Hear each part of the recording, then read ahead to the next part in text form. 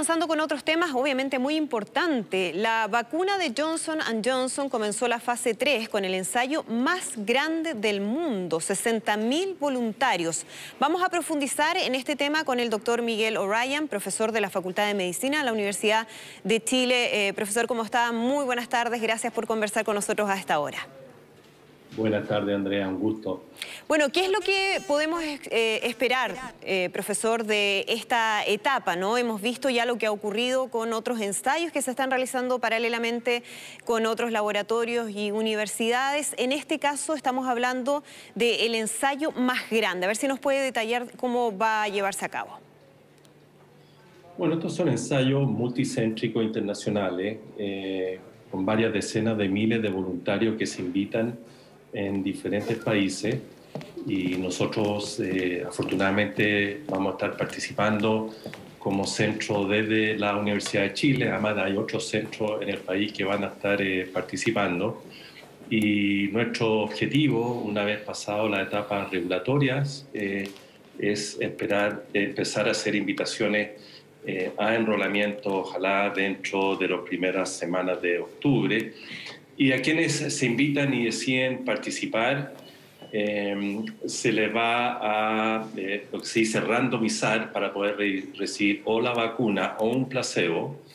Eh, y son seguidos por un largo periodo de tiempo, cerca de dos años, para eh, evaluar cuál es la eficacia de la vacuna contra la posibilidad de infectarse contra SARS-CoV-2, que causante del COVID-19. Ahora, el hecho de que eh, vaya a haber un seguimiento de largo plazo, como usted menciona, ¿significa que hay que esperar al final de eh, ese periodo o se puede eventualmente aprobar esta vacuna antes de que se conozcan los resultados de ese seguimiento? Sí, así como esta como con otras vacunas está eh, proyectado y dado el alto número de enrolamiento y enrolamiento relativamente rápido en pocos meses en tantos sitios, que en la medida que la vacuna pueda mostrar eh, eficacia significativa eh, para proteger contra infección, y si eso ocurre en 3, 4 o 5 meses y se logra demostrar de manera clara, estadísticamente significativa y robusta que la vacuna protege, eh, y además en ese periodo demuestra la seguridad, que es un factor también muy importante en los estudios de fase 3, puede ser suficiente para que se solicite eh, internacionalmente y eventualmente en nuestro país el uso de esta u otra vacuna que cumpla estos requisitos eh, para uso, lo que se llama en, uso extraordinario eh, en tiempos de pandemia.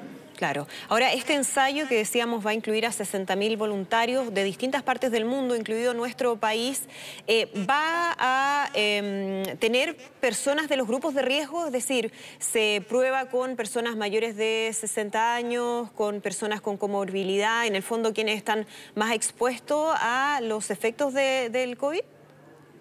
Sí, en general los ensayos de y estoy hablando de los ensayos en general, que son todos bastante parecidos, tienen algunas diferencias, hay más de 10 vacunas que están en etapa de ensayo fase 3, la que usted mencionó, eh, la de Janssen es una de ellas, pero hay otras que además se van a desarrollar en nuestro país.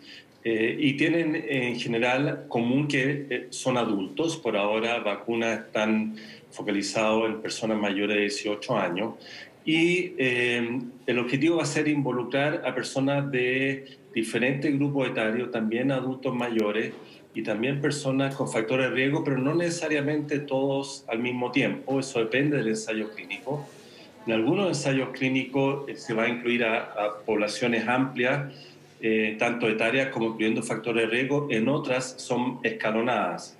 Se parte primero con población sana, entre comillas, de entre 18 y 60 años, en la medida que la vacuna demuestra ahí, ¿no es cierto?, eh, fundamentalmente que es segura, la población más sana, se avanza entonces a adultos ya de mayor edad y eventualmente y también, no eventualmente también se avanza a personas que pueden tener enfermedades concomitantes, que eh, una vez pasado la etapa de seguridad inicial en población sana, se avanza a estas otras poblaciones. Todo esto estamos hablando en plazo de pocos meses. Claro. De tal manera que uno esperaría, si todo anda bien, yo siempre digo, si todo anda bien, como esperamos que haya la vacuna, que en, en, un periodo de 3, 4 a 6 meses se hayan enrolado personas de todo el rango de edad y incluyendo también eh, grupos de riesgo. Y aquí en Chile, profesor, ya está claro cómo va a ser ese proceso de enrolamiento en distintas partes del país, dónde va a estar centralizado em, y, claro, ¿cuándo ya podría empezar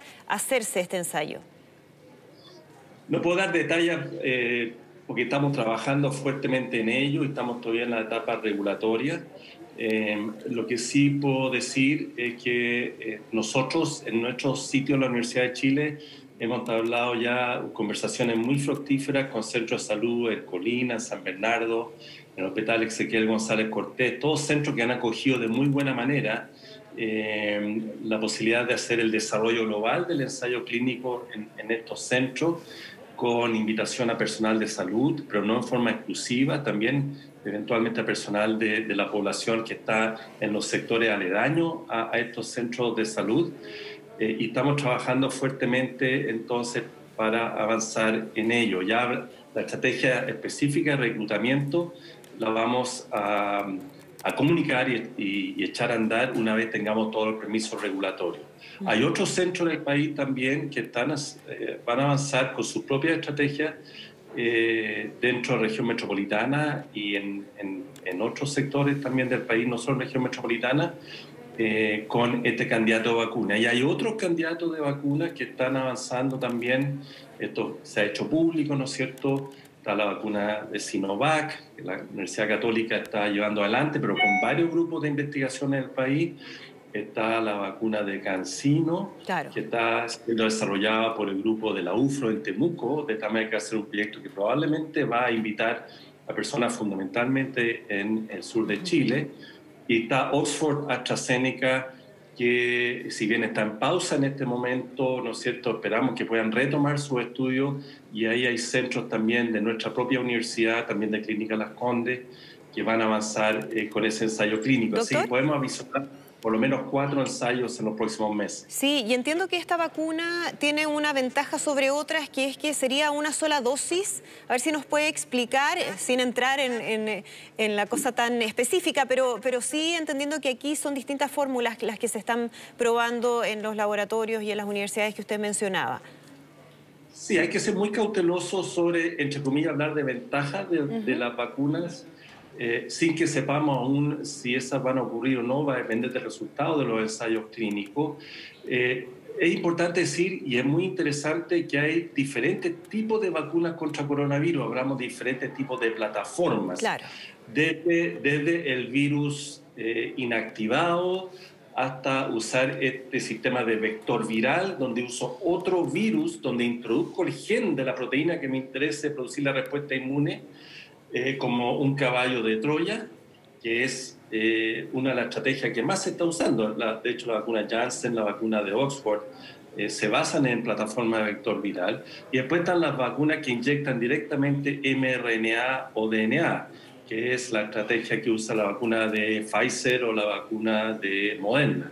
Entonces, estas diferentes plataformas eh, que todos van al mismo objetivo, al mismo fin, producir una respuesta inmune efectiva protectora contra el SARS-CoV-2, que es el virus que produce COVID-19. Vamos a ver finalmente en los ensayos clínicos eh, cuán efectivas son, si basta una dosis. En el caso efectivamente la vacuna eh, de Janssen, la propuesta es una dosis pero vamos a ver si la respuesta inmune es suficientemente robusta con una dosis o va a requerir eventualmente un, un refuerzo. Perfecto. Para eso se toman, se toman muestras de sangre después de la primera dosis eh, y se ve si la magnitud de la respuesta inmune es suficientemente robusta. Bien, eh, doctor Miguel O'Ryan, muchísimas gracias por conversar con nosotros. Vamos a estar siguiendo esta información, por supuesto, muy, muy de cerca, esperando buenas noticias. Muchas gracias por esta conversación. Buenas tardes. Muchas gracias, Andrea. Muy buenas tardes.